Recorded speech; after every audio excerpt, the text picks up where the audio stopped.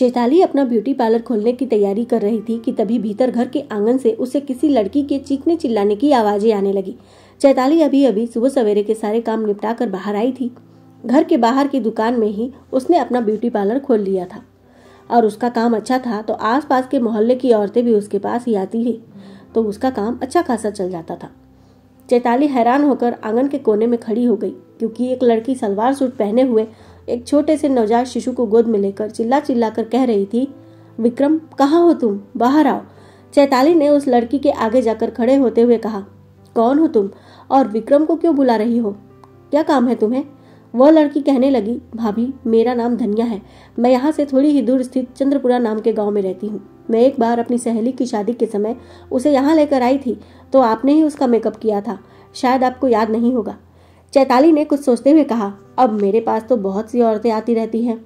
मुझे तुम्हारा चेहरा ठीक से याद तो नहीं आ रहा है, लेकिन तुम यहाँ मेरे घर में आकर मेरे देवर का नाम लेकर क्यों चिल्ला रही हो? उसके इस सवाल पर धनिया की आँखों में आँसू आ गए और उसने भरे गले से कहा, भाभी, मैं क्या बताऊँ आपको?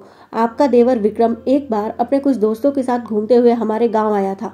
उन लोगों को चलते चलते प्यास लगी तो वे लोग हमारे गाँव के कुएँ पर पानी पीने के लिए आ गए। संयोग से उस वक्त मैं उसी कुएँ पर पानी भर रही थी। मैंने सभी को पानी पिला दिया, लेकिन आपके देवर की प्यासी नज़रें तो कुछ और ही पाने की आस में थी। उस दिन के बाद से विक्रम अक्सर अकेले ही बाइक लेकर गाँव में आने लगा। कभी कभार वह मुझसे थोड़ी बहुत बातचीत भी कर लेता था। मुझे भी उसका साथ अच्छा लगने लगा था, क्योंकि वह मेरे लिए कभी महँगे उपहार लेकर नहीं आया, बल्कि हमेशा उसकी बातों में मेरे लिए परवाह झलकती थी। कभी मेरे सिर में दर्द होता था तो वह खेतों के किनारे बैठकर मेरा सिर दबाने लग जाता था। कभी मैं उदास रहती थी तो वह मुझे हंसाने की कोशिश करता था। और एक दिन उसने मेरे सामने अपने प्रेम का इजहार भी कर दिया। मैंने भी उसके प्रेम को स्वीकार कर लिया। मैंने तो सोचा था कि वह मुझे अपनी दुल्हन बनाकर पूरे सम्मान के साथ अपनी ज़िंदगी में शामिल करेगा। धीरे धीरे दो साल बीत गए थे।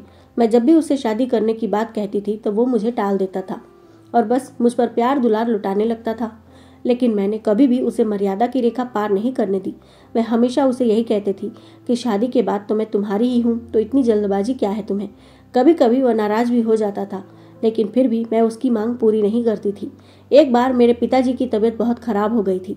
मेरी माँ तो बहुत पहले ही दुनिया से चली गई थी। एक सप्ताह तक संघर्ष करते करते जब वो थक गए तो उन्होंने अपनी आँखें हमेशा हमेशा के लिए मूंद ली। मुझ पर तो दुखों का पहाड़ ही टूट पड़ा। जब एक सप्ताह के बाद विक्रम मुझसे मिलने के लिए आया और उसे यह सब पता चला तो वह कहने लगा, अब मैं तुम्हें यहाँ अकेले किसके भरोसे छोड़ूँगा? मैं तुमसे आज ही शादी करूँगा। मैं तो बड़ी खुश हो गई कि विक्रम कितना अच्छा है जो मेरे बारे में सोच रहा है। मैंने कहा कि मैं तुम्हारे घर वालों की सहमति से ही तुम्हारी ज़िंदगी में शामिल होना चाहती हूँ। तो विक्रम कहने लगा, मेरे मम्मी पापा बहुत कड़क स्वभाव के हैं और वह तुम्हें स्वीकार नहीं करेंगे। इससे अच्छा है कि पहले मैं शादी कर लेता हूँ, फिर जाकर उन्हें सब कुछ बताऊँगा और धीरे धीरे उन्हें मनाने की कोशिश करूँगा। मुझे भी उसकी बात ठीक ही लगी, क्योंकि मैं भी विक्रम को खोना नहीं चाहती थी। क्योंकि पिताजी के जाने के बाद मैं बिल्कुल टूट चुकी थी। मैंने मंदिर में जाकर उससे शादी कर ली। वह पूरे अधिकार भाव से मेरे करीब आया तो मैं भी उसे मना नहीं कर पाई। उन कमज़ोर पलों में उसे तो जो चाहिए था वह मिल गया और अगली सुबह विक्रम वहाँ से चला गया। मैं उसका इंतज़ार ही करती रह गई। देखते ही देखते छह महीने बीत गए थे, लेकिन उसके आने की कोई खबर ना मिली। लेकिन मेरे गर्भ में उसका अंश ज़रूर पड़ रहा था। मैं ठीक से विक्रम के घर का पता भी नहीं जानती थी। इधर उधर लोगों से पूछते हुए आज मैं यहाँ पहुँच पाई हूँ। यह देखिए, यह विक्रम का ही अंश है। इतना कहकर उसने अपने गोद के नवजात शिशु को चैताली के सामने कर दिया। चैताली तो यह सब सुनकर दंग ही रह गई थी, लेकिन उसे अपने कानों पर यकीन ही नहीं हो रहा था कि उसका सीधा साधा देवर ऐसा भी कुछ कर सकता है। अभी वह कुछ बोलती इससे पहले ही विक्रम अपने कमरे से निकलकर बाहर आया और गुस्से में कहने लगा, भाभी, यह लड़की झूठ बोल रही है। यह मेरा बच्चा नहीं हो सकता। उन लोगों की आवाज़ सुनकर कुछ और लोग भी आँगन में इकट्ठा हो चुके थे। इतने सारे लोगों को देखकर भी धनिया जरा भी नहीं घबराई और उसने विक्रम की ओर कातर नेत्रों से देखते हुए कहा, जब आपने मेरी मांग में सिंदूर भरा था, तब आपके हाथ नहीं कांपे, पर आज आप मुकर क्यों रहे हैं? आज आप सबके सामने स्वीकार क्यों नहीं कर लेते कि मैं आपकी पत्नी हूँ? विक्रम गुस्से से चीखते हुए बोला, भाभी, तुम उसकी बकवास बात पर ध्यान मत देना। यह कौन है मैं नहीं जानता। पता नहीं किसका पाप उठाकर मेरे सिर पर मरने के लिए आ गई है। इसे अभी के अभी धक्के मार कर घर से बाहर निकाल दो धनिया अवाक रह गई। उसने कहा, तुमने मेरे तन से प्यार किया था ना। तुम्हें जो चाहिए था, तुम्हें मिल गया। तो आज तुम मुझे ठुकरा रहे हो। जाओ। मुझे भी ऐसे इंसान के साथ नहीं रहना जो मुझे प्यार नहीं करता। लेकिन इतना याद रखना कि तुम्हें तुम्हारे गुनाहों की सजा ज़रूर मिलेगी। मैं तुम्हें बदुआ देती हूँ। इतना कहकर वह रोते रोते वहाँ से निकल गई। चैताली सन्न सी खड़ी रह गई थी। विक्रम अपनी भाभी के पास आया और कहने लगा, भाभी, तुम किस सोच में डूब गई हो? वह औरत झूठ बोल रही थी। चैताली कहने लगी, मैं भी एक औरत हूँ। मैंने उसकी आँखों में एक सच्चाई देखी है। कोई भी औरत इस तरह आकर अपनी इज़्ज़त को नहीं उछालेगी। तुम सच सच बताओ, कहीं तुमने कोई गलती तो नहीं की? अगर ऐसी बात है तो सब कुछ ठीक हो जाएगा। हम बहुत धूमधाम से तुम्हारी शादी धनिया से करवाएँगे। तुम धनिया से माफ़ी मांग लेना। तुम कह देना कि तुम इतने सारे लोगों के सामने यह बात स्वीकार करने से घबरा रहे थे। देखो, किसी लड़की की ज़िंदगी बर्बाद मत करो, वरना तुम्हारी ज़िंदगी भी बर्बाद हो जाएगी। कहते कहते चैताली हाफने लगी तो विक्रम चीखने लगा, भाभी, आपका दिमाग खराब हो गया है क्या? सच में, औरतें होती ही पागल और बेवकूफ़ है। वह धनिया कुछ भी बोलेगी तो तुम यकीन कर लोगी, उसकी औकात क्या है, जो मैं उससे माफ़ी मांगूँगा?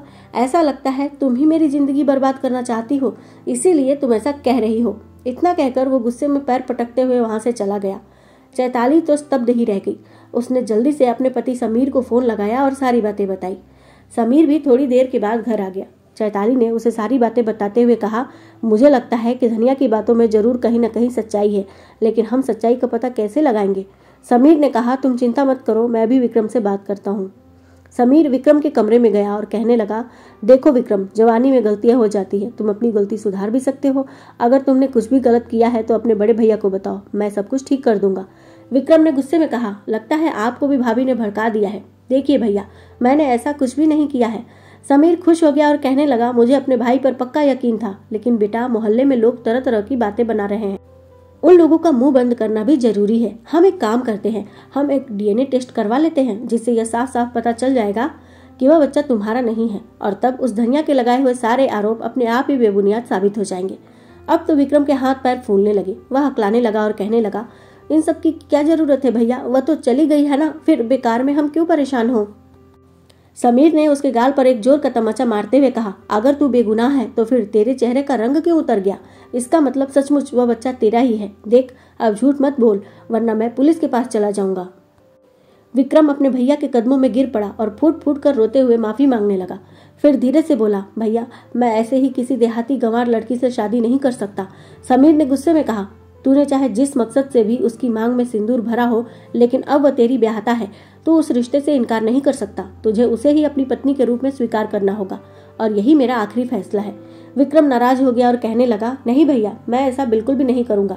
मैं ऐसी अनपढ़ और गवार औरत को अपनी पत्नी नहीं बनाऊँगा।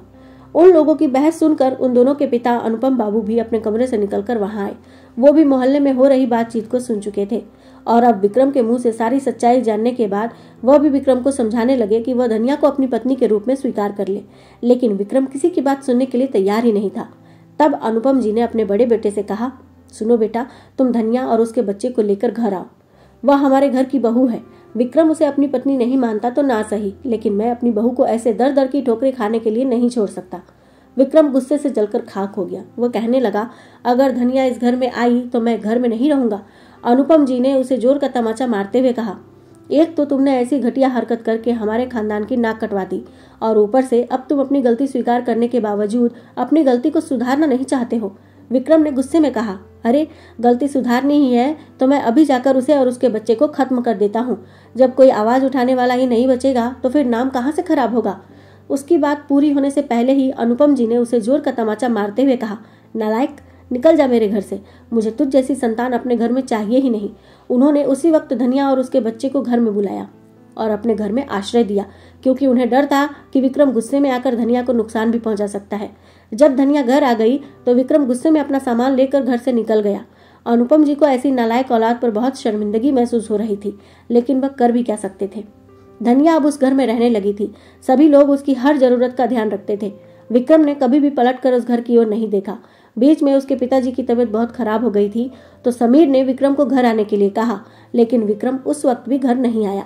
दो सालों के बाद एक दिन अचानक से ही विक्रम घर आ गया और कहने लगा, पिताजी, मुझे मेरा हिस्सा चाहिए।